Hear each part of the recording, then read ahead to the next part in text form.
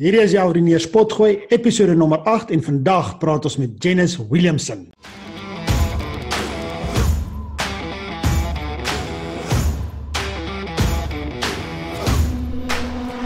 Niemand gaan vir jou sê hoe jou toekoms lyk nie. Jy is anders. Jy val, stamp jou kop en maak soms jou naam gat. En anders so, as jy dalk 'n gawe gesprek oor koek en tee. Hulle sê jy kan nie, maar kan nie is lankal dood van krywas dood. Jy stoot geen krywa nie, jy lewe vir die uitdaging. Laat die wat wil skinder, skinder. Jy is nie wie hulle dink jy is nie. Jy is wie jy dink jy is. Jy is hulle hoop. Jy is Suid-Afrika se hoop. Jy is 'n afrineer. Die taal wat jy praat verstaan min en meeste diskrimineer teen jou visie. Jy gaan niks die eerste keer reg kry nie.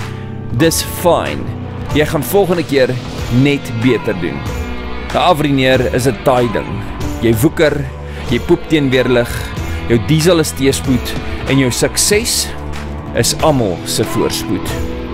Die doel van hierdie kanaal is om jou bloot te stel aan ander afrineers wat al die lang pad gestap het en bereid is om jou 'n ding of twee te leer.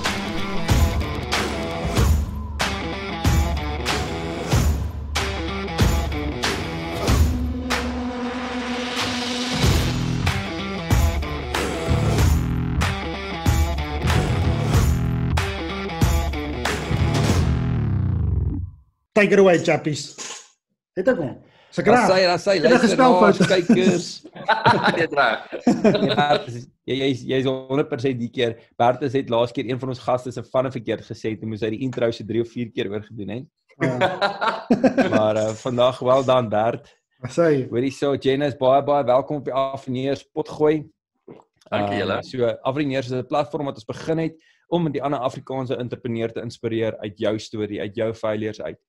En um, ons het net gesien daar's 'n groot behoefte daar buite vir Afrikaanssprekende entrepreneurs. Jy weet, ons is as Afrikaanssprekendes klaar so min en as entrepreneurs nog minder. En ehm um, baie keer voel dit asof jy hierdie roete alleen moet hardloop of hierdie Ja. hierdie hierdie reis alleen moet doen en dit is net so lekker om te om met ander mense te praat en hulle stories te hoor en inspirasie daar uit te put. So is baie baie welkom. Ons sien uit om uh, een of twee van die lekker stories, die moeilike en goeie stories met die kykers en luisteraars te deel.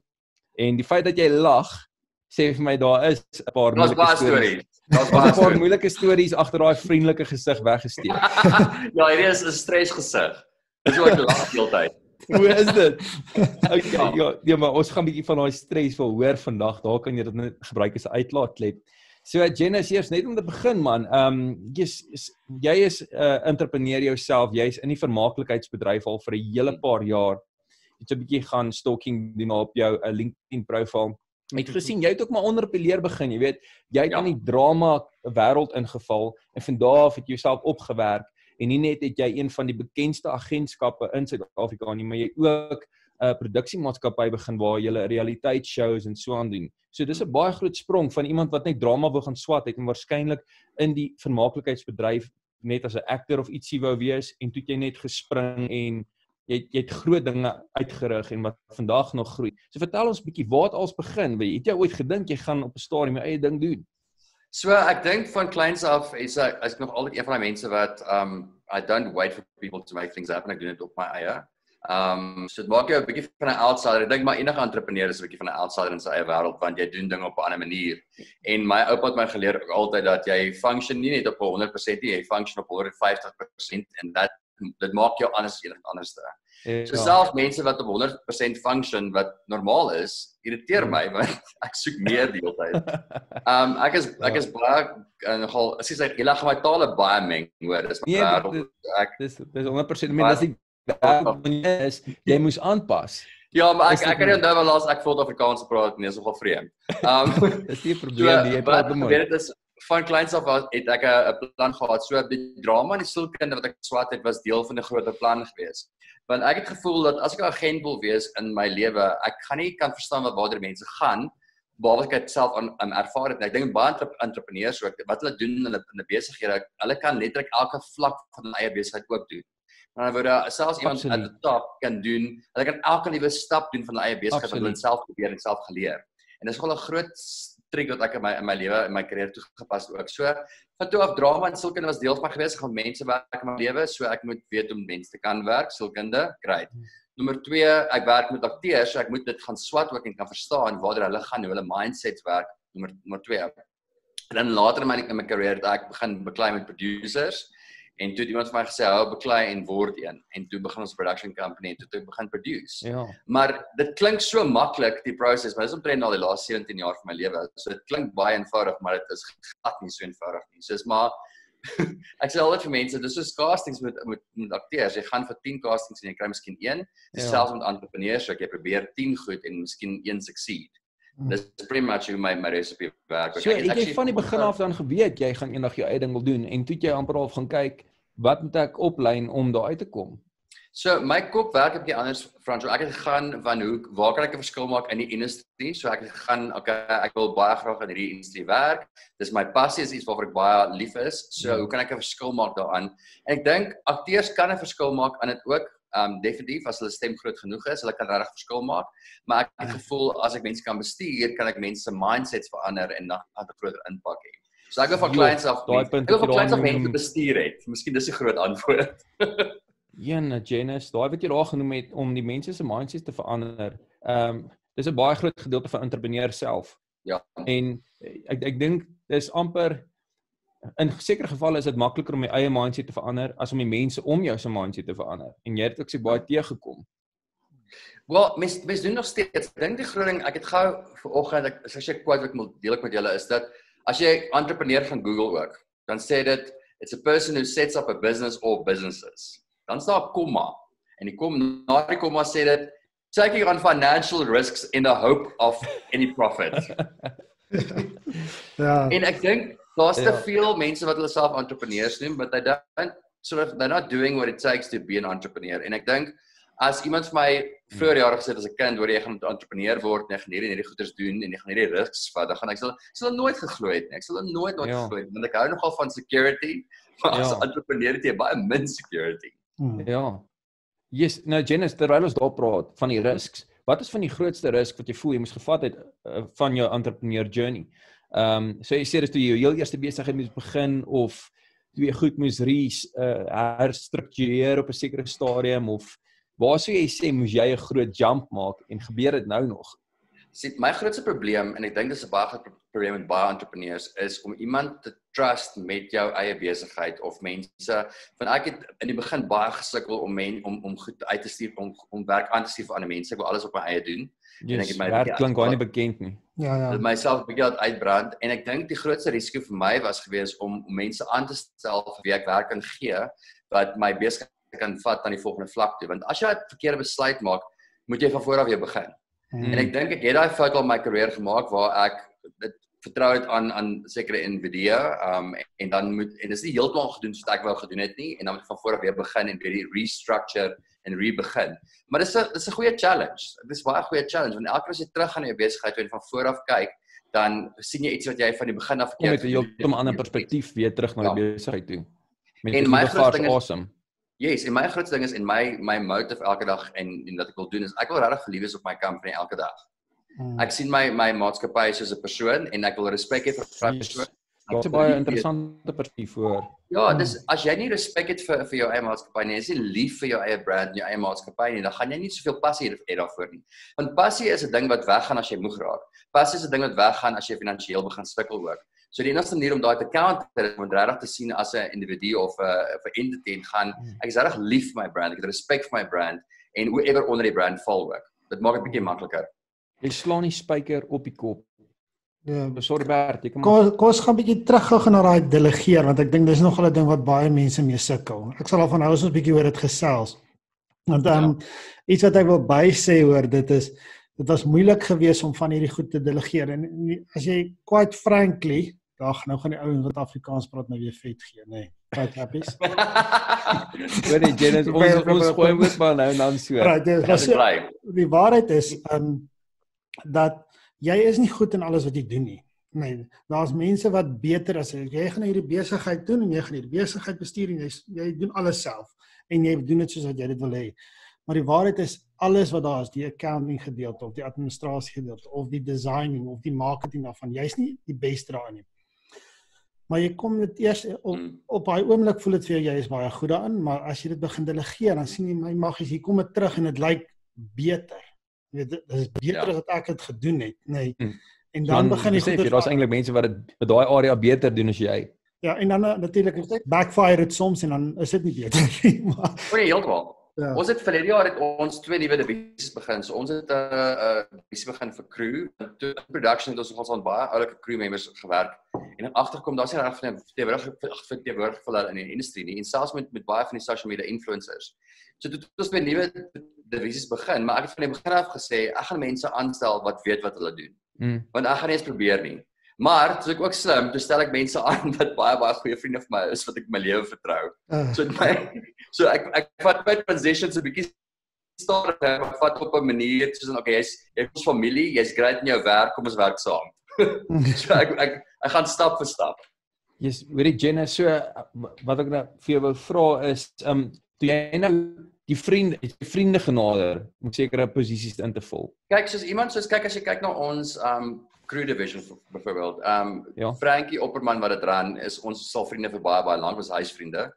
Um maar hy werk in crew ook al vir baie baie- ek dink van Brent 10, 15 jaar. So die besluit was makliker geweest. So toe ons begin besluit en gesels, he was the natural person to take over that. Verstaan jy? So en dan die ouetjie wat ons social run werk ons al rukkie saam. So ek ken sy werk voor hy die divisie genader het en was just ek wil nie sê dit was 'n bonus dat hulle vriende was nie, maar dit het nogal in die in hulle guns getel dat ons vriende was eerste.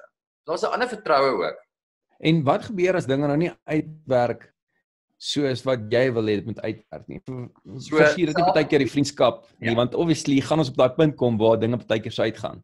So ons produksie produksiemaatskappy is ek en my beste vriend um in my lewe en ons sê dit is ons en met almal in die maatskappy is daar kontrakte in plek.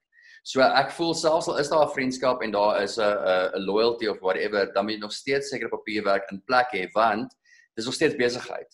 So daai Mm. kontrakte tussen my beste vriend of tussen al die divisies, alles heeltyd in plek van die begin af. In ander woorde, Mm. as daar dan emosionele, um ek noem dit 'n midground gebeur, dan is daar nog steeds kontrak om ter, terug te val om te, om te sê hierdie is verantwoordelikhede, hierdie is wat gedoen moet word. Mm, mm, mm. So As dit maak dit baie maklik. ja, as jy baie kontrak maklik. So die derde party in die besigheid het dan enige regs af. Ja, en die oomblik wanneer jy 'n kontrak opstel is eintlik wanneer jy klaar begin fight want ehm um, nou ek ek bedoel nou nie regtig nie maar jy in 'n kontrak Ja, skets ja, jy dis eintlik waar. basies die fight, nê. Nee, jy sê, hoorie, dis nie goed wat gaan verkeerd, wat gaan ons doen as dit gebeur? En dan begin 'n mens nou voor jy nog begin, begin jy al praat oor hierdie goeters, jy weet. Ja, so ek dit is nogal 'n interessante punt, hoor. Ek dink dit maak dit makliker ook werk. So mens kom by daai punt wat jy as jy 'n besigheidseienaar is, jy weet wat kan verkeerd gaan. Jy weet Hmm. van die begin af wat kan verkeerd gaan regardless van 'n vriendskap of nie. En jy weet wat wat want obviously as jy jou SWOT analysis doen van jou maatskappy, jy weet wat jou threats and opportunities alaggetjies is. So my kop werk wees solution driven. Ek wil nie Hmm. crisis driven wees nie. Met ander woorde, Hmm. ek wil weet as daai miskien gaan gebeur, maak ons my miskien baie paranoid, maar as daai gebeur, is hierdie stappe in plek. As daai gaan gebeur, is hierdie plek mm. selfs met COVID ook, verstaan jy so om klaar voor die tyd hierdie goed in plek te hê, van mense met na- navorsing doen. Sê jy weet hierdie gaan gebeur, so self met die agentskap ook was ons span gewees daar's 'n paar maande want ons ons het al klaar in verlede jaar November, Desember het ons gehoor het van die virus, al klaar begin seker goed in plek sit vir ingeval Suid-Afrika toe kom. Sure. Dit maak my Wow. paranoid. Ja, yes, weet jy wat? Ek het gedink ek het ek het myself glad teen die virus gesteer nie, hoor. Hy het my eintlik baie erg om kant gevang. Ja, Ja nee, ek het gesien dink ag Sure. nee, wat is nou weer een van hierdie goeters, jy weet. Ehm um, ek is nie eh, die ou wat in 1994 blikkies kos gekoop het en onder 'n bomskuiling gebou het en al daai soort van dinge nie. en ek het dit gesien hierdie virus voel vir my dieselfde en hy hy het my eintlik 'n les geleer. Ja, ek moet So- sê ja. sorry, ja. Yes. So ek volg nogal baie baie trends na en ek werk baie saam met Stats SA ook, so ek vra en soms selfs met Deloitte ook. Ek kry Hoekom doen jy dit? Word dit vereis in jou bedryf?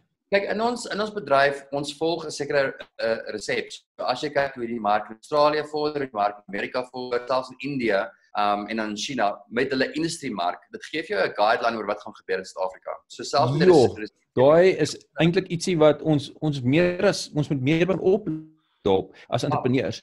want dis 'n patroon wat herhaal word. Completely. As ietsie gewerk het in Amerika van die ander lande, is dit net 'n kwessie van tyd voordat dit hier gaan gebeur en werk.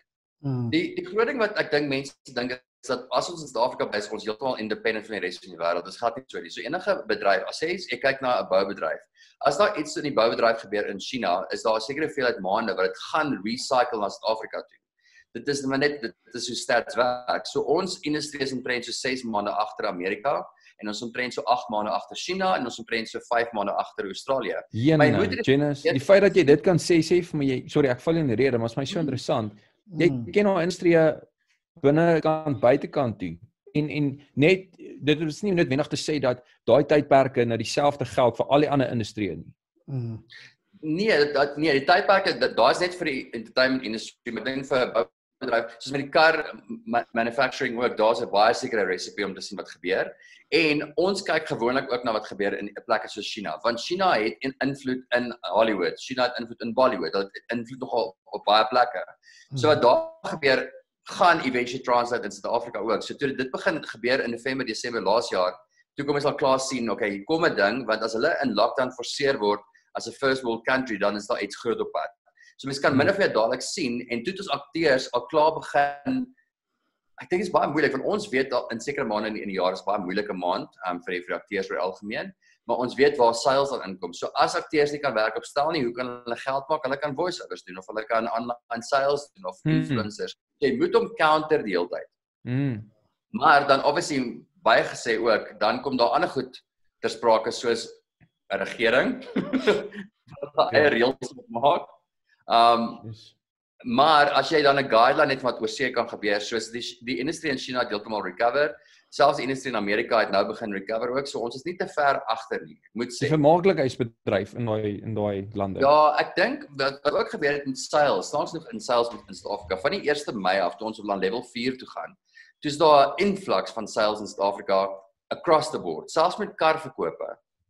So baie van die mense het wat wat gebeur is is emotional spending. So mense, selfs mense wat nie geld het op hierdie stadium nie, maak meer skuld want it makes them feel better. So daar's sielkundige aspek wat nou te sprake kom. So baie van die maatskappye wat in geval het in 2 maande maak hulle geld nou op want daar's emotional spenders. Is dit nou voor die lockdown of na die lockdown Nou. wat hulle daai geld opmaak? Hier af na nou toe, ja. Is basis jene. weet. Op 'n basis hoe baie geld spandeer is in die laaste maand. Dis hoekom jy so baie laptops koop, chappies. Dis my baie interessant. Ja, dis waarskynlik waarskynlik hoekom daar so baie laptops verkoop word. Ehm um, dit is my dis my baie interessant dat ehm um, dat dat jy hierdie goed so duidelik optel, Jen. Dit moet my sê jy hou daai stats dop met 'n valkoog. Slaap nie. Waar Ja, waar hou jy die stats dop? Waar, waar kan 'n mens na dit kyk? Of uh, is Baie keer op Stats SA se webwerf ook kan jy nogal dadelik sien wat gebeur. Ook ek het obviously iemand in Stats SA wat my help met industry stats. Ehm um, maar gewoonlik op hulle webwerf, selfs op Deloitte partykeer se webwerf ook gee hulle vir jou baie stats oor wat gebeur. En dan is ek deel van elke moontlike groep op Facebook of wat jy wat jy kan dink. Daar's television industry jobs in Hanoi in Vietnam en dan staan jobs in Dubai en in Hollywood. So ek volg die stats deel en die trends om te sien wat gebeur. Want soos ons probeer hoekom ek die crew division byvoorbeeld begin het. Ek het agterkom dat die die navraag vir akteurs in Afrika raak baie baie stadiger. Maar die aanvraag vir crew het vinniger begin raak. So wat nou het, toe begin ons crew. So in ander woorde, ons crew word eers geboek op 'n sekere werk. So moet sê So crew is nou die manne wat jy dis die span waarna jy verwys wat die werk uitvoer, wat die produksie doen, die kameramanne, die ligte manne, ja. al daai. So, wat toe gebeur het is as gevolg van die feit dat crew eers geplaas word agter agter die skerms, kan ons dan weet ons dan om dieselfde maatskappy is wat se akteurs gaan volgende kom. En dan word dan kan ons sê, okay, cool, jy het nou ons crew geboek, wat se akteurs kort jy dan dan kom ons daal in met die casting voor dit begin Baie uit slim. ander agentskappe toe. Want jy moet net so al begin slimmer werk. Baie slim. En I mean jy het absoluut geen ervaring gehad met crew nie. Jy het net Wat? gesien hierso is 'n geleentheid. Jy het die mense geken en jy het die connections gemaak. Ja, want mens kan mens kan dit baie vinnig sien ook. En mens net ek dink enigste ding met 'n met great idee is almal het het baie keer dieselfde great idee. Dis net die persoon wat gaan uitvoer wat die verskil gaan maak. O, oh, kan nie meer saam met jou stem. Daai is Ja, ja. 100%. Dit is so min mense wat eintlik daai idee kan vat en gaan uitvoer.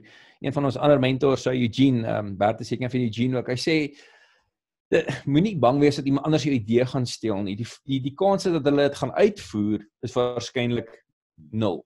Yes. Want dit is eerste plek nie hulle baba nie en die tweede plek het hulle waarskynlik nie die tipe dryf wat jy het nie. Ek dink wat gebeur in ons industrie ook is almal is baie erg oor oor intellektuele property en ek verstaan heeltemal ook en hulle is baie erg oor strategieë tussen agentskappe. Daar's 'n hele paar agentskappe ook. En ons het vir jaar die punt gemaak, ek het gerebrand, die hele company gerebrand, um, wat nogal 'n risiko is vir enige maatskappy. Ek het gerebrand en teruggaan op op op die basiese goed wat ek in belangstel in die besigheid en waarvoor ek baie lief is in die besigheid en van daar af gaan verder. En my nou jou agentskap net Jenus. So wat ek toe gedoen het is ek het agterkom dat ek het op daai stad gevoel of ek getroud is met een persoon en 'n affair met 'n ander persoon, so ek het 'n agentskap en ek het 'n production company. Sure. En toe gaan ek, okay, great, maar hoe kan hulle saamwerk want ek wil lief wees vir een persoon. Toe sit ek onder dieselfde brand. Dis hoe ek gerebrand het. So nou onder die ah. agentskap, daar production department, daar's crew department, daar's social influencers en daar's akteurs. So ek het alles een gemaak onder een vaandel gesit wat baie makliker is. En toe ek verder gaan en op, op op my webwerf gegaan vir die res van die jaar is hierdie my stappe wat ek gaan volg om die company te expand wat enige entrepreneur sal sê dis baie dom want jy gee vir jou competitors presies die resepie wat jy gaan wat jy gaan doen vir die jaar. Ja. Hoe gaan ek great? So ek het opgestel. Ek dink as jy dit so op jou webwerf sit, dis dis ehm um, wat wat die Afrikaanse woord vir accountability. Kom chappies. Accountability. Um, ja, dis verantwoordelikheid of Ja, jy gaan 'n poepel ja. wees as almal sien jy doen nie wat jy sê jy gaan doen nie, nê. Nee. Presies. Hmm.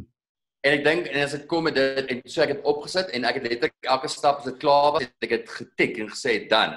En ek op die volgende stap, maar dit was gelys vir hele jaar. So toe wil ek kyk wie in die industrie gaan dieselfde ja. resep navolg. Niemand amper het, niemand nie. Ja.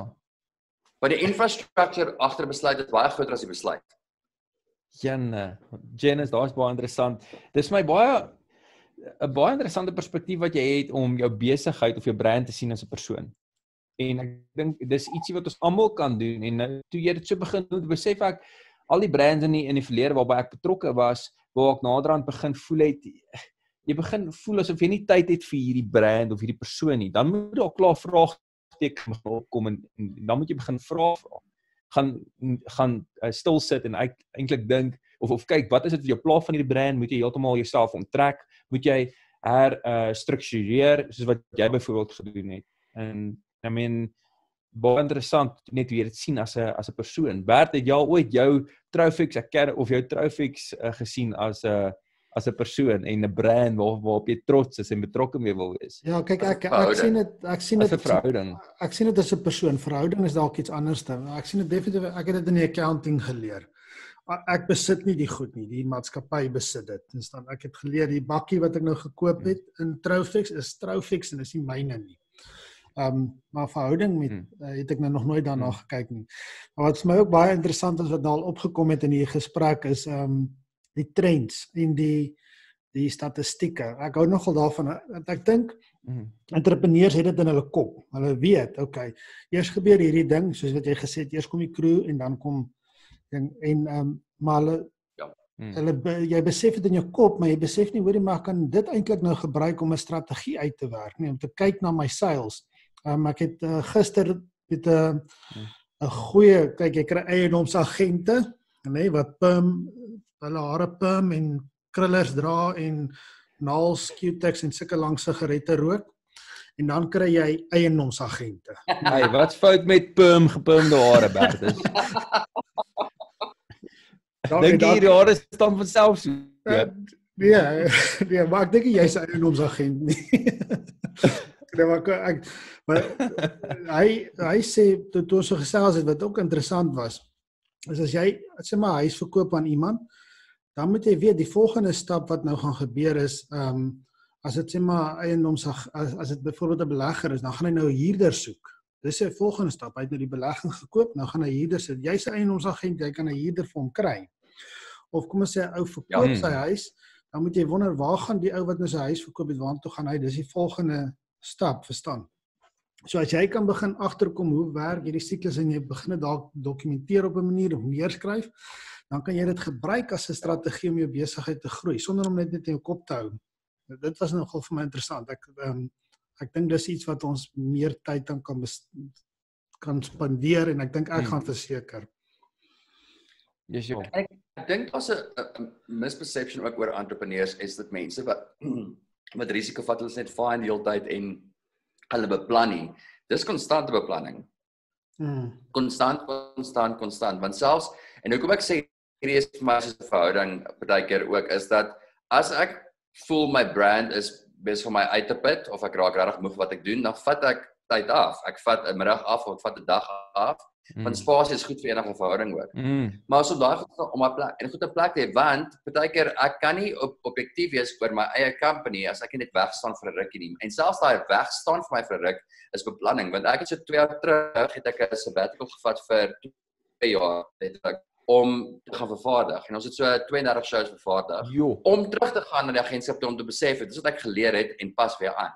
En ek dink partykeer met mense en dis my hartles wat ek geleer het is ek, alhoewel ek wil hands-on wees met alles, moet ek partykeer kan die vryheid hê om net te kan wegstaan vir 'n paar sekondes vir 'n dag of twee om asem te skep om terug te gaan. Dit Mm. maak jou net sterker in jou besigheid. Mm. Maar jy kom terug met 'n baie duideliker visie, met meer energie Yes. en uh jy daai perspektief wat wat daai time out vir jou gee is net Ja. is is prysloos. Maar selfs die time-out word beplan ook. So my time-out is ook nie emosioneel. Nog so hoe moeg ek is nie, dis ook beplan. Gaan, okay, great. So Woensdae is miskien Woensdaagmiddag is my stilste tye van die week. So as ek tyd wil afvat, is Woensdaagmiddag die beste tyd. Want my moegheid vir my eie maatskappy kan nie die maatskappy affekteer nie.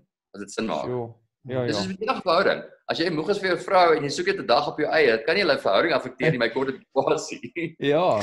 Dit maak 100% sin. Hey Jelis, Ehm, um, vertel my bietjie ehm ek het ek hou joernaal net. Ek het nogal ek het nogal 'n groot passie daarvoor om heeltyd joernaal te hou van wat ek gedoen het en wat ek reg gekom het, alles soort van dinge. En dan een van die goeter wat daarby kom is wat het ek reg gekry die dag en wat het ek nie reg gekry nie. Nou as ek deur my joernale lees hier agter, dan is daar so een dingie wat ek altyd sê, "Jesus, ek kon beter beplan het. Ek kon beter beplan het. Ek het dit al dit kom baie op in my goedjies. Ek kon beter beplan het." So ek sal nou daarvan hou as jy so 'n bietjie kan Hmm. uitbrei oor hoe jy beplan of wat se tyd van die dag doen jy dit in die oggend, die aand of hoe wat is jou resepie? Is daar 'n resepie of is dit maar net 'n um, Wel, die eerste ding wat ek gesien het toe ek op julle begin gesels jou boek die agtergrond Atomic Habits. ek is baie erg oor ehm um, skedules en ek is baie erg oor rotine. So dis vir my belangrik om selfs die boek The 5am Club van Robin Sharma is een van my dis 'n baie oulike boek ook en dis 'n great boek vir entrepreneurs. Aangeraai om daai enetjie te lees? Ehm Hæ, weet jy aangeraai om daai boek te lees? um, ek is net mal oor die boek. Ek weet nie. So ek sal so as jy gaan na Amazon toe en jy bestel Chappies boek, was jy het dit was hy gewees. Was dit jy? Ja, eh, sorry, wat ek jou vra is Ja, ek het ek dink ek het vir vir uh, Janice aangeraai om te Nee, lees. actually genoem, ja. Ja, ek dink so ek en Natanja of so en wat ek het vir Bertus ook aangeraai want dit, dit is ook een van die boeke wat vir my die grootste impak in my lewe gemaak het as dit kom by wie jy is en wat se impak jy moet maak in hierdie wêreld. Dat jy eintlik jouself en die wêreld uh, die wêreld skade aan doen as jy nie daai roeping van jou vervul nie of die die verskil maak wat jy kan maak. Ja. Sorry, ek moes net in die rede val daar en Ja. uh, net saam met dankie. jou stem. Ons gaan ons gaan as, ek wil nog die punt ek wil nog die punt hoor van die beplanning, nê, nee, en hoekom daai boeke maar ons gaan Ja. as jy klaar dit verduidelik het dan gaan ons gou-gou terugkom na 5 Event Club want daar's iets interessants wat ek opgemerk het in daai boek wat ek nie ons spreek maar kom ons gaan eers met daai beplanning. Kom ons kap eers daai ene. Wat ek doen, so my rotine is my baie belangrik in die oggend. So ek weet selfs met lockdown ook is dat ek werk op die selfde spasie. Hierdie is in in in my huis, so ek werk altyd op dieselfde spasie. Ek beweeg nie rondom my huis nie. As ek gaan sit en werk, het ek een spasie want ek glo location has an energy. So hierdie is my werkspasie. Hier's waar ek produktief is. So as ek kom sit selfs al is dit 4 in die oggend of whenever, ek gaan onmiddellik in productivity mode in. So Sure. so ek word vroeg wakker, ek gaan oefen. Dis die eerste ding of ek gaan stap met die honde of ek oefening buite doen. Ek Nice. moet 'n oefening kry wat nie gaan oor werk nie. Dit gaan nie oor ander mense nie, dit gaan oor wat ek vir myself kan gee. Dan word ek stil en jy kan daai gebed noem, jy kan 'n meditasie noem, jy kan net Hmm. stil word. Jy, jy moet stil word om jou mind reg te kry vir die dag. Hmm. Want as ek nie gaan oefen in die oggend nie, so stap vir my is ook my nogal daai meditasie want ek kry my mind ook 'n bietjie reg. Mm. Um en dan weet ek wat voor lê vir die dag. So ek gaan van die begin af in dat ek's nie asof ek dan gaan sit en myself net affirmations stuur en sê jy's great, jy's great, great, great nie. Ek beplan mentally vir die dag, ek maak myself mentally vir die dag reg. Hmm. Dan het ek 'n sekere rotine. Ek is nie die hele tyd op my e-mails nie deur die dag. Hmm. Ek het sekere tye wat ek my e- e-mails download en op respond. Want jy het jou eie culture. So my groot probleem was op my in in die begin en dit is waar ek baie struggle is. Ek wil baie vinnig reageer op mense boodskappe en baie vinnig reageer op mense e-mails. Wat beteken as ek in 'n meeting sit, raak my kop 'n bietjie distracted want ek gaan okay cool, maar ek moet nou reply op soveel e-mails as ek terugkom.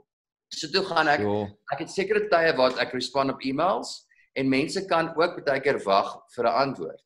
Ek praat nie van 'n- 'n dag of twee dae, dit sal dieselfde dag wees as die dringend is weet mense my te bel, maar jy moet daai rotine create. Jy create die culture mense gaan respekteer. Hmm. So as jy 'n culture create waar jy by 24 ure ure van die dag in die hande kan kry, jy ek gaan altyd in 5 minute reply 'n e-mail of so. Dis altyd 'n gesonde kultuur jy kry. Mhm.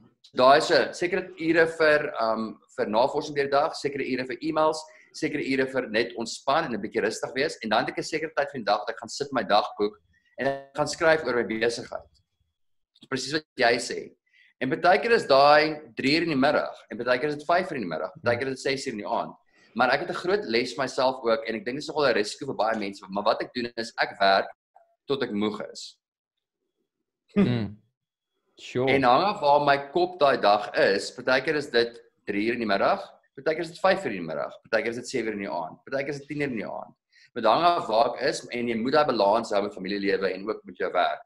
En ek sal baie mense sê, hou jou kantoor dit is ure tussen 8 en 5, myne is tussen 9 en 5 en partykeer hou ek op 3 uur of gister het ek.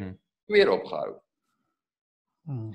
Vanaf weet ek wat ek nou gaan doen my besigheid gaan damaging wees. Ek gaan nie fokus daarop nie. Baie belangrik om goed te luister vir jou liggaam in daai opsig, nê. Nee. Ja. Want dit is presies wat jy sê.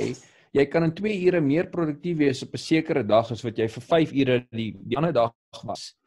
En ehm um, as jy kan begin besef hoor ek is besig om konsentrasie te verloor, ek moet dalk 'n breek vat of die dag net uh hierso 'n bietjie kort knip, ek kan môre weer vars aangaan, gaan jy soveel meer uitrig oor daai tydperk as wat jy nou net aangaan. Ja, want die skryf daai projekte, ek het nou onlangs 'n projek gewerk waar ek vir 4 dae non-stop vir my rekenaar gesit en net gewerk het om om en dit was nie eens oor deadline gedrewe nie. Ek was so gelukkig met die werk wat ek mee besig was dat ek nie wou ophou nie. Dan het ek myself Ja. gepush vir 'n paar dae en toe ek dit vir 'n dag net afgevat en gaan ek cool. Dit nou klaar gemaak, nou kan ek weer aangaan aan die volgende projek toe. Maar baie keer raak ek so passievol en so gedrewe met iets dat jy net wil aangaan, aangaan, aangaan. Maar toe besef ek ek word ouer ook. Ek kan nie meer 24 ure 'n dag werk nie. Ja.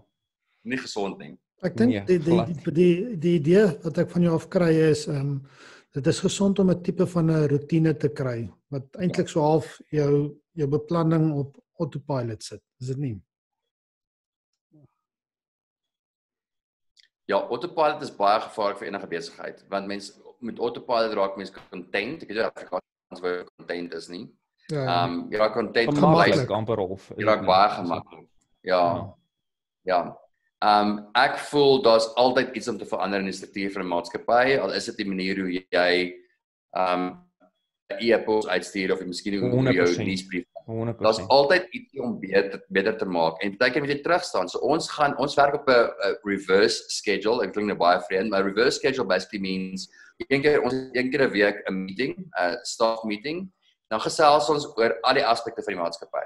So ons reverse in die vorige week en kyk wat het in daai week gebeur, wat kan ons verander daaruit. So kyk, Hmm. so ons gaan social media goeie voorbeeld. Ons gaan ons het hierdie week um hierdie volgende post uitgestuur. Wat het gewerk daarvan, wat het nie gewerk nie.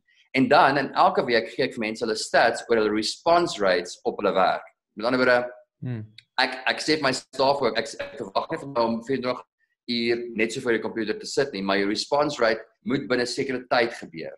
Nou word as dit langer as as 2 ure raak vir 'n response op 'n e-mail, beteken dit dis te stadig.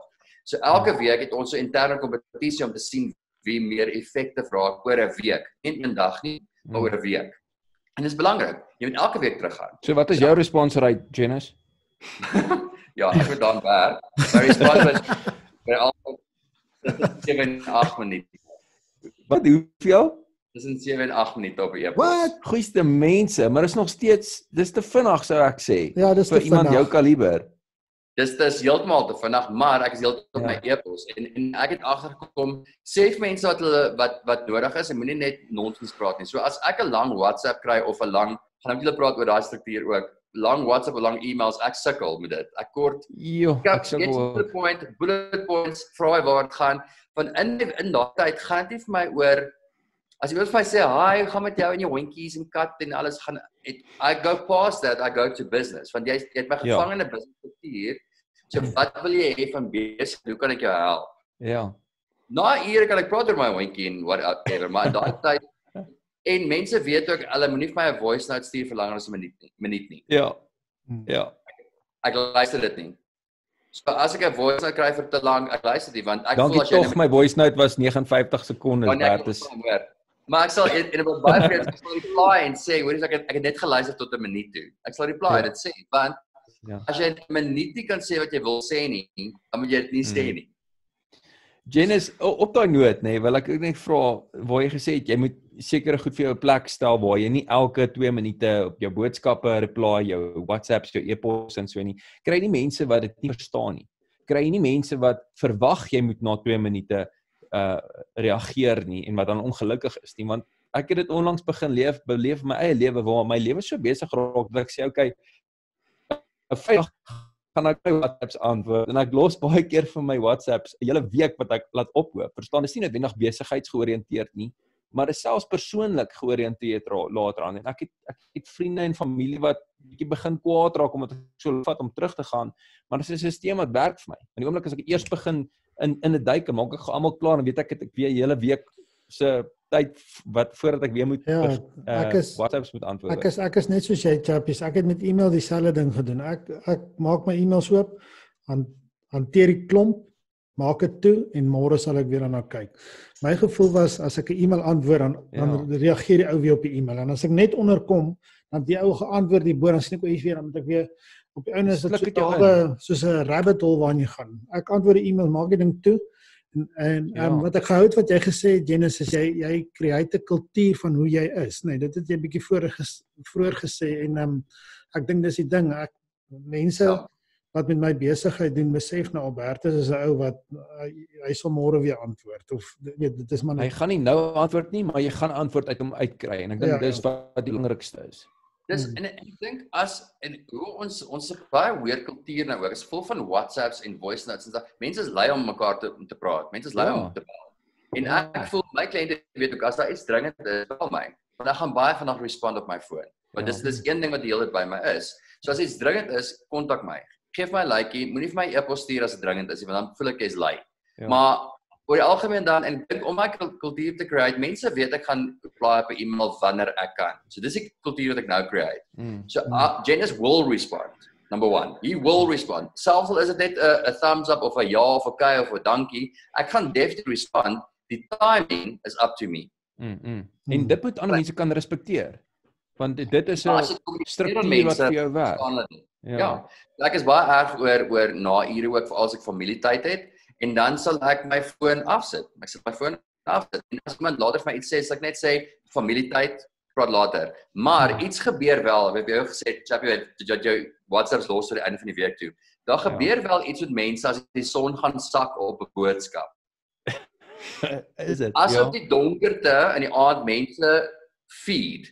Hulle raak vies. Ja. ja ja ja. Dis iets wat gebeur. So ons deel met die maatskappy ook is is ons moet reply ons reply op alles daai dag. Ja. Niks moet staan aan die volgende dag toe. Al sê die e-mail dankie vir hierdie of die boodskap dankie vir hierdie ek reply Vrydag of ek reply môre. Dis al wat mense wil weet. Hulle wil net acknowledge word. Mm. Ehm um, Jennis, Ek- wat dink jy wat jy sê en dit dit, dit beantwoord nogals een van die vrae wat ek gehad het wat dit betref. Ek sal nou vir julle die voorbeeld, sorry Bert, kan ek gou die voorbeeld gooi daar? Ja ja ja, ek gaan gou net kyk of ek hierdie Ek het uh so so rukkie terug het ek verjaar en iemand stuur vir my verjaarsdag boodskap en hoor, hoor net nê nee, hoe begin die verwagting op mens geplaas word. En hulle stuur vir my ver- verjaarsdag boodskap en sê vir my geluk en ek sê toe nou tot en met die volgende dag ook nog steeds niks. En toe kry ek die volgende dag 'n boodskap van die persoon. En die tyd wat jy jou boodskap lees, is die gedagte van die boodskap klaar daarmee heen. Ehm um, so tot en met volgende jaar uh sal ek julle volgende jaar sal ek maar weer probeer. Dis net soos is dit onredelik vir my om om te dink dat of ja, is dit onredelik vir my om net te verwag dat daai mense net vir my genoeg tyd moet gee en dat dit eintlik dat daai dag oor my verjaarsdag gaan. Dis nie hulle verjaarsdag nie. Dis byvoorbeeld my verjaarsdag en dan mense vereis van my om op daai oomblik terug te stuur. Ek dink dit is bietjie onredelik en ek sal graag hoor hoor wat julle sê want dit baie keer trek dit deur besigheid ook. Dis dis baie moeilik. Ek dink as iemand vir my op sosiale media intag of iets soos like dit van like. Ek sal selfs met met 'n verjaardag, 'n goeie voorbeeld ook met 'n verjaardag, as ek boodskappe kry, ek sal dit like, maar ek sal nooit skryf baie dankie nie. Want dit hmm. beteken ek spandeer die helfte van my birthday om met ander mense te gesels. Ja, presies. Glad nie. Ek sê net jy lekker. Maar ek dink wat ek doen is met baie mense as dit ek praat nie van verjaardag aan iemand anders goed is. Ek sal vir mense sê soos ek nou nog oor die naweek het iemand my boodskap sien sê dit was 'n dringende situasie. Baie dankie. Ek reply maandag. Dankie, hmm. reply maandag. Dan hmm. weet weet mense waar hulle staan. Dis nie 'n kwessie van en dan eventually dan kom daai ratte wat so klik en dan gaan hulle o, moenie vir Janice plop op Saterdag nie. en eventually gebeur dit Maar dis ek dink die jare is 'n ander geval ook. Ek dink as dit ja. kom met familie en vriende is 'n ander ander tipe ding ook. Ja. Maar selfs my familie kan ek ook sê, kan jy nou gesels nie bel hulle oor 'n uur. Mm. Maar van hulle weet, as ek sê ek bel hulle oor 'n uur, gaan hulle bel oor 'n uur. Mm. Ek hou van die konsep wat jy genoem het o van in die aand gebeur daar ietsie. So dalk is dit net goed om vir daai persoon te sê dankie, ek reageer reageer later sodat hulle net amper half gaan slap met 'n uh, met 'n gewete dat jy hulle nou nie ignoreer nie en en dat hulle nie 'n selfbeeld probleme ontwikkel gedurende die aand nie. Dit klink nou lelik, maar dis hoe ek baie keer voel. Ja. En hierdie is presies hulle mense wil net gesien word. Ja. Ja. En en hierdie boek van Tim Ferriss, die 4 hour workweek, het, ek weet nie of julle hom almal gelees het die boek nie. Ek het hom gelees. Het jy hom gelees? Okay. Janice nee, het hom al gelees. Ja, vriend. Ja, dis 'n boek, 'n moedboek hoor, the 4 hour work week. Absoluut. En in in hierdie boek is daar ehm um, ek probeer dit nou vinnig kry maar die indeks is nou nie so so nice gemaak soos wat hy moet nie, maar daar's 'n e-mail vir ehm um, 'n autoresponder e-mail wat jy kan opsit wat vir mense sê jy antwoord net e-mails tussen hierdie sekere tyd en ehm um, want jy uh dit is veel belangrik om die werk te doen wat almal van jou verwag. Of iets en ek kan nie presies die woord onthou nie maar ek onthou ek het al vir Willie ja. ge-email. Ek weet nie of jy al voorheen vir Willie ge-email het met chappies. Hy het daai autoresponder opgestel. Ek het gesien ek ja, kry ja. hierdie ding. O dis 'n regte Tim Ferris autoresponder wat hy opgestel het. Maar dit werk verstaan dit is op 'n manier om daai boodskap uit te kan kry. En vir jou sê het jy boodskap um, ek antwoord tussen hierdie tyd e-mails en ek gaan naby uitkom Ehm um, ek dit sou nou nice gewees het gesê op watse bladsy maar vir mense wat luister, dis dalk 'n goeie idee. En ek dink om vir mense so, so, dis een ding om te sê ehm um, hoor ek hoor ek sal reply teen Woensdag 5uur. Of vir mense sê hoor so ek kan nie nou by my e-mails uitkom nie as dit gaan oor crew kontak hierdie persoon. As dit gaan oor hierdie kontak daai persoon. So daar kom om te delegate ook baie belangrik in om mense mm. te stuur na regte departement toe. Ja, Want ja. alhoewel jy alles wil hanteer, kan iemand gou vinnig met die help. Miskien ja, is dit 'n rede die bottleneck uit. Yes, exactly. Maar om daai klaar op jou autoresponder te sit en gaan dit dit dit. So ek gaan nou eerstens gaan ek op ag paternity leave ook. Ek gaan nie bekommerd nie want al die departemente ran so smooth op hulle eie dat my responder gaan wees. Jy like is nie hier nie, ek kyk na 'n kind, maar vir hierdie gaan soontoe soontoe soontoe. So I delegate it completely. Hmm. My vorige MD was incredible geweest van die company ook want sy het on average sy het verskriklik baie e-posse 'n dag gekry, maar sy het so begin leer om te delegate dat die die dag toe sy en selfs toe sy bedank het ook sy oor sy getrek het. Dit was weg het sy ge-average so 4 5 e-posse 'n dag want toe het almal begin leer vir wie hulle moet e-mail vir regte goed. Mm. So 'n majority van haar inbox was net goed van my af gewees en nie meer van die mense wat hoe het vrae gevra het. Dis baie belangrik mense weet wie's in charge van wat. Dit kom vir my daarop neer dat as jy die oplossing is vir iemand se probleem, dan gaan jy waarskynlik die oplossing bly vir die persoon se probleem. Vir altyd. So as jy net as jy hulle probeer help en hulle gee en hulle sê hier's 'n oplossing vir jou probleem, gaan daai roete, dan gaan hulle naderhand begin volg wat net vir jou baie meer tyd koop om te doen wat eintlik saak maak. So ding in die maatskappy ook en en is dat iets wat kliënte wat die akteurs en selfs die crew members en almal weet is dat as een van die mense in die departement nie vinnig gaan genoeg reply op 'n baie groot of belangrike issue nie, gaan hulle vir my kontak. So mm. my personeel weet byvoorbeeld as ek na hulle toe kom en sê daar's 'n issue met dit, hoekom reply nie? Vir my dit teen alle koste so almal is vinnig. Want mense ja. weet dis die volgende stap want ek sal byvoorbeeld vinniger reageer op ietsie so met ander my personeel moet ook so vinnig reageer. So ek klink soos 'n nagmerrie. Nou besef ek dit nou. ek dink nee, ag, ek dink net dis dis bietjie dis bietjie vuur onder hulle boude. Ehm um, jy weet Jennis en ek dink wat baie groot verskil maak is hoe jy dit hanteer en hoe jy daai vraag vra van hoekom is hierdie nog nie geantwoord nie. Ja. Ehm um, jy kry mense wat daai vraag baie ontstellend kan vra en en en jy gaan 'n vrees om jou begin create en dan kry jy mense wat net daai autoriteitsfiguur is en mense wil jou nie eintlik teleurstel nie. So hulle wil nie hê jy moet daai vrae aan hulle vra nie. Ja, en ek dink dit is 'n respek ook want want soos wat ek ervaring met my maatskappy, is ek ervaring met elke persoon wat werk vir die maatskappy ook. Um want ek, ek sien nie net as as werkers nie. So ons het so lekker saamgewerk deur deur die hele lockdown periode ook, want ons ken mekaar. So jy weet goed van die mense af en jy vra die regte vrae en ons het nooit vir een oomblik gedink dat as iets gebeur met lockdown gaan ons nooit ons personeel betaal nie. Ons het gaan hmm. maak saak wat gebeur nie. Jy's 'n jy's 'n entrepreneur, jy's 'n 'n maatskappy eienaar. As iemand salaris gesny moet word, moet dit daai mense wees, nie die werkers nie. Dis hmm. Jennifer. Terwyl jy praat, ek ek sien net die prentjie waar jy sien altyd op die voorkant van die golf of jy kan altyd bepaal wanneer die volgende golf gaan inkom. Nou ek praat van die al oor en algemeen in jou industrie. Sou jy sê dat wat is die eksterne faktore wat 'n rol speel dat jy die altyd skerp genoeg is? Het jy mentors in jou lewe? Boeke wat jy lees? Wat is wat is dit wat contribute of bydra tot daai die feit dat jy altyd op die voorkant van hierdie golf kan bly en hierdie golf kan uitdry?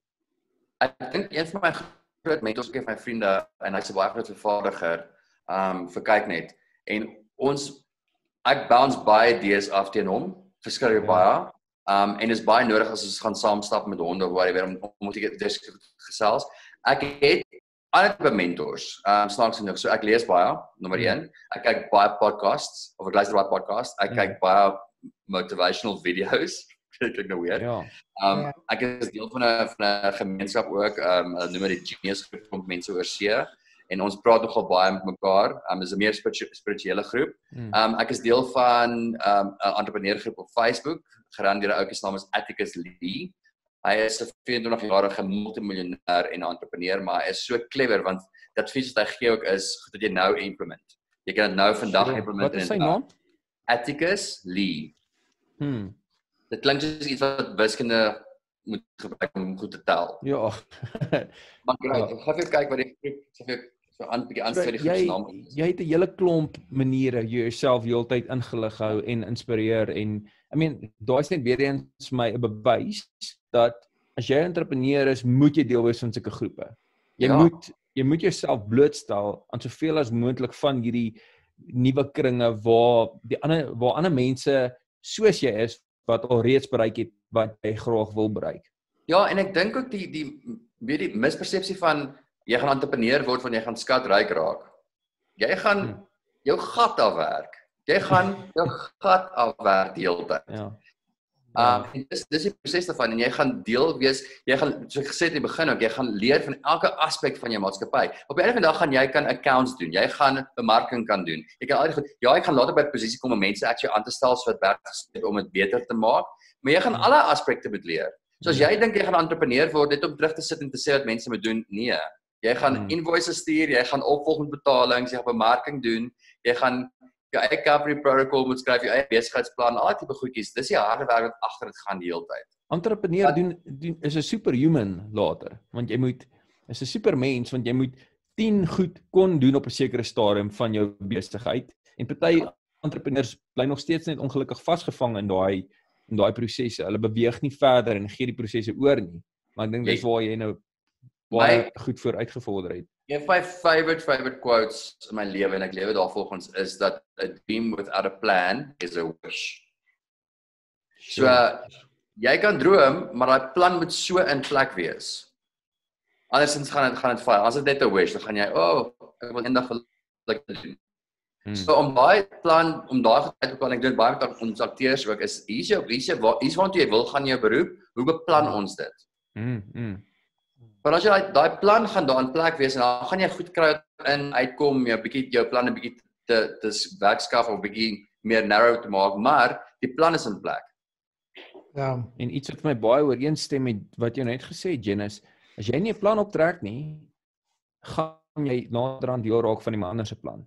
Ja, Hmm. ek love En- it. Dis baie cool. Dit is ietsie wat ou Jim Rohn gesê het, um, ook een van die personal development manne daar buite.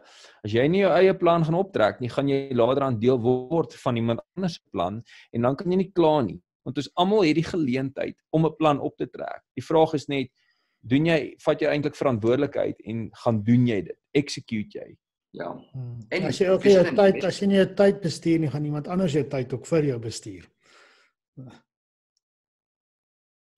Dis waar. Dit is waar. En ek dink om daai daai visie van die begin af te hê oor hoekom doen jy wat jy doen? The big why. Mm. Verstaan jy? As jou big why is om om 'n groot huis met 5 slaapkamers en 'n sportkar te ry, dan is jou why baie short-lived. As jou why is om bietjie groter en bietjie wyer as jou eie industrie om te dink jy wil 'n verskil maak in die lewe of in die mense se lewens of jy wil hierdie mense bereik in jou lewe, dan is jou why op regte plek. Mm. En dit daai maak nie saak oor wat se besigheid jy is nie. As jy 'n kar salesman is en jou motive en jou why is om die beste diens vir mense te gee dat hulle kan voel hulle belong of hulle voel veilig, dan is jou why in plek. Mm. mm. As dit gaan oor targets, dan gaan jy dan gaan jou jou mens wees baie vinnig gekelder word ook want jy gaan dan dan word jy gefeed volgens finansies en nie volgens wat die wat die visie is nie. As dit sin maak. Ja, jy jy's deel van saam met die jou mense begin eintlik nader net vir jou nommers word.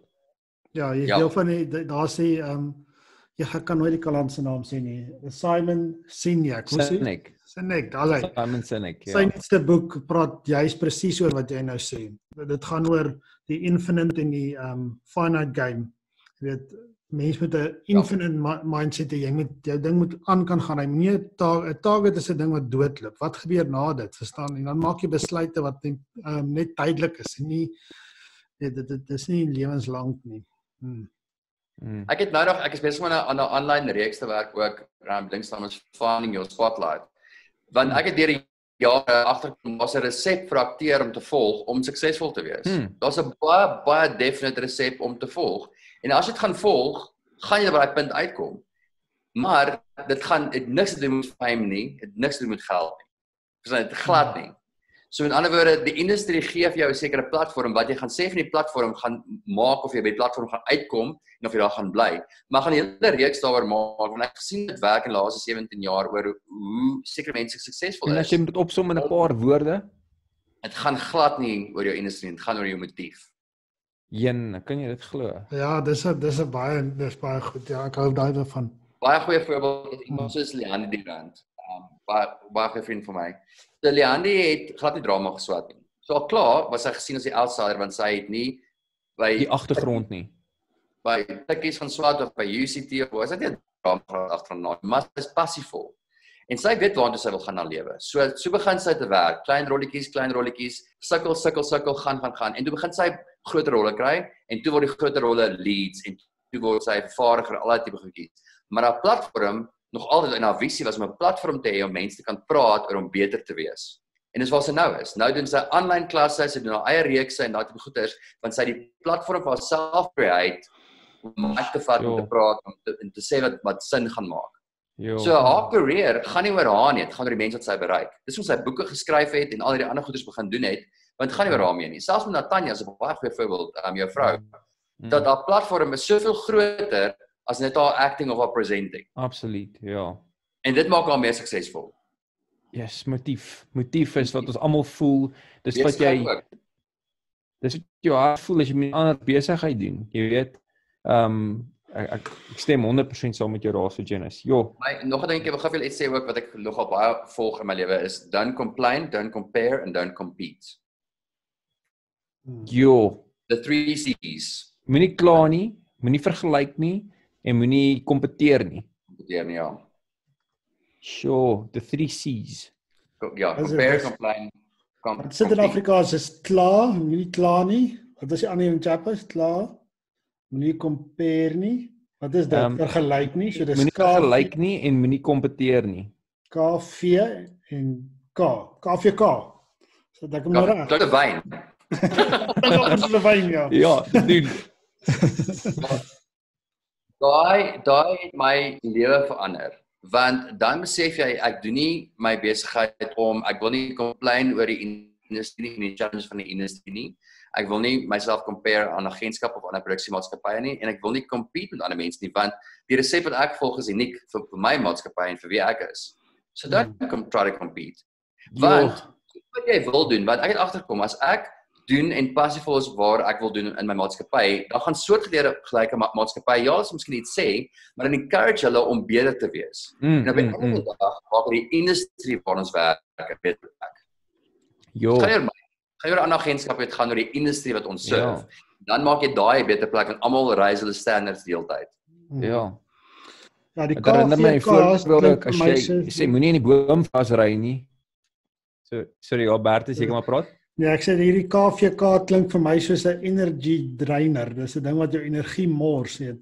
Jy ehm um, as jy deelneem aan daai soort van goeder dan stuur jy jou energie na iets toe wat niks werd is nie. Dis dan jy mors dit in die verkeerde rigting in. En op die einde van die dag, dit waarop jy fokus, gaan gaan dit wees wat jy amper op stop of dit wees wat jy gaan kry. So as jy jouself heeltyd gaan vergelyk met jou kompetisie, gaan jy dieselfde resultate min of meer as hulle kry. Jy gaan nooit uit dit uitbreek nie. Hmm. As jy die hele tyd kla oor jou kompetisie of kla oor die industrie, gaan jy nooit beter resultate kry nie dit waarop jy as jy alles doen wat jy kan om vooruit te beweeg, dan gaan jy nader aan die die ligtoring word. In verlede jaar met my company se rebranding het iemand op 'n stadium vir my gesê, "Hoor jy maar voel of die die maatskappy se naam nou oral is en en voel of die branding net so groot geword het en hoekom is die branding so groot?" En toe toe hulle vir my daai goed vra en toe hulle vir my sê dit lyk of my company se naam oral is, toe gee ek vir almal die company 'n high five. Toe gaan ek, "Well done ouens." Dis presies wat ons wou gehad het. Ons wou ons nuwe look and feel change. So nou dat ek met mense gevra vir 'n paar van die mense wat ons werk sê, kan julle onthou as ou logo gelyk het? Toe kan niemand onthou nie. Toe gaan ek, "Yay! Great span." My jene. Ja. Maar ek kom ook agter en goed dat ons geïmplementeer het vir hierdie jaar het baie van die ander agentskappe ook begin doen op hulle websites. So dis great vir hom te sien hoe die hele industrie se standaard net gelig word. Hmm. Ja. So dit gaan nie kwessie van ek wil nie kompeteer met mense nie. Jy hou jy hou nog nog steeds 'n oogie op jou kompetisie. Ja, ja. Jy's bewus van hulle, maar jy konsentreer nie op hulle nie. Ja ja, jy weet hulle is daar because sometimes your competitors do something fantastic that you can implement in your own company. Ja. Ja. Ek hou baie daarvan om te kyk na heeltemal 'n ander industrie. Ja. Dit is nogal goed om na 'n ander industrie te kyk en te kyk wat doen hulle en dan te wonder, "Jesus, like, hoe kan 'n mens dit hier in implementeer? Jy weet, hoe kan jy dit ehm um, dit hiernatoe bring?" So rukkie terug het ons vir die taxi daar met ons gekyk. Hoe kan ons 'n ander video maak te kyk ons hoe mense kos adverteer? Weet, ons het dieselfde tipe ehm um, metode gebruik en gesê, "Kom ons ons gebruik dit vir ons besigheid. Ons gaan nou so 'n video maak wat wat hulle eintlik maak vir kos." En dit was toe uh, dit was 'n baie baie goeie resultate wat jy daai het gekry, Bertus. Mm. Ja, pyk geweest. Van die beste video's wat 'n taxi daar nog ooit gemaak het. Maar Bertus uh Jennis, ek sien ons is al klaar. Ek sien ons al klaar oor ons tyd. Jennis, ek wil net vir jou die geleentheid gee om as jy ietsie vir ander die, die kykers en die luisteraars, ietsie vir hulle wil sê, ehm um, wat jy net voel jy wil hulle mee los 'n gedagte en dis kom ons sê dis jou laaste kans dat jy mense met ietsie kan los wat die jou ander besigheids, jou ander entrepreneurs wat kyk. Wat sou dit wees? Ehm um, net so 'n paar sekondes daar om vir hulle iets te gooi. Kry iemand met wie jy accountable kan wees met al jou drome, met al jou planne en hou 'n accountability skedule. Met ander woorde, daai persoon gaan vir jou vra elke week hoe ver is hierdie plan? Hoe ver is hierdie plan? Hoe ver is hierdie plan? Dit is die een ding wat ek baie laat in my beroep geleer het en die belangrikste ding vir my nou is is om to have people that you are accountable to. Sure. Sure. Daarso het julle luisteraars, kykers vanuit Genesis Williamson se mond. Genesis is 'n absolute groot voorreg. So graag bietjie meer saam met jou wou kuier, maar dan weet ons ons gaan die hele dag hier so kuier en jy moet by daai e-posse uitkom. So baie baie baie dankie vir jou tyd en ehm um, jy's alle sterkte met jou al jou nuwe besighede vorentoe en ons ons sien uit om meer van jou te sien in die in die media daar buite en om meer van die mense te sien wat jy beïnvloed het. Yes, en nou my boord van al julle goeders. Ek sal nog 'n T-shirt kry ook, een van Bert se T-shirt. ja. Daar's hy, as jy meer wil weet ook, ons gaan onder die skakels hierso onder die pot gooi, kan jy gaan uh Genesis page gaan like. Ons sal ook bietjie meer oor Light in the Ball Productions daarso gaan uh, gaan post en um jy kan net gaan kyk waarmee is Genesis doen nog like hierdie video, share hom as hy 'n uh, 'n uh, verskil gemaak het in jou lewe of as jy van iemand weet wat baie gaan baat vind hierby. Afrineers oor en uit. Dankie. Cheers.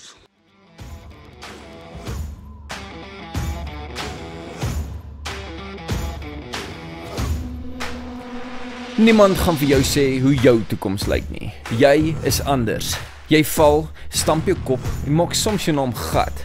En anders so, as jy dalk 'n gawe gesprek oor koek en tee. Hulle sê jy kan nie, maar kan nie is lankal dood van krywas dood. Jy stoot geen krywa nie, jy lewe vir die uitdaging. Laat die wat wil skinder, skinder. Jy is nie wie hulle dink jy is nie. Jy is wie jy dink jy is. Jy is hulle hoop. Jy is Suid-Afrika se hoop. Jy is 'n afrineer. Die taal wat jy praat verstaan min en meeste diskrimineer teen jou visie. Jy gaan niks die eerste keer reg kry nie. Dis fyn. Jy gaan volgende keer net beter doen. 'n Afrineer is 'n taai ding. Jy woeker, jy poep teen weerlig, jou diesel is teespoed en jou sukses is almal se voorspoed. Die doel van hierdie kanaal is om jou bloot te stel aan ander afrineers wat al die lang pad gestap het en bereid is om jou 'n ding of twee te leer.